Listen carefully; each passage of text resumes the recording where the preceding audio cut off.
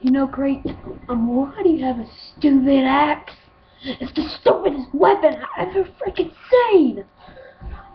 All it is is just a one solid freaking bone of a Lego man that has a freaking two pieces of freaking metal on it.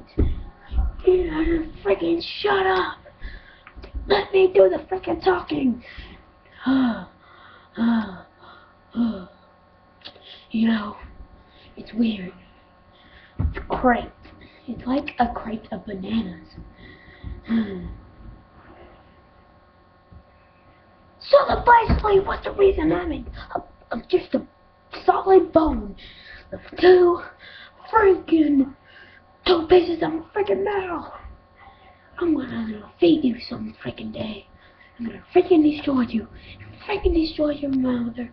And freaking destroy all of you. You freaking know that? Okay. Now, I'm just going to destroy you now.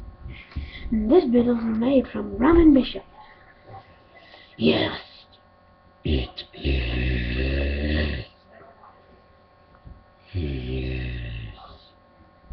It's freaky.